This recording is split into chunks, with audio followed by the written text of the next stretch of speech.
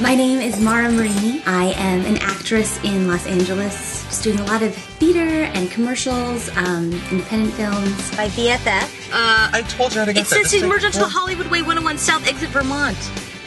Yeah, we don't have to do that. Why? This is my mom, and this is Monroe. Say hi. Good morning. So, this is my life. Yay.